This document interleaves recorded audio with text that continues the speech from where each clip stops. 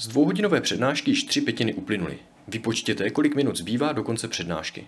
Uplynuly tři pětiny, dokonce tedy musí zbývat dvě pětiny. Pět pětin nám totiž tvoří celou přednášku.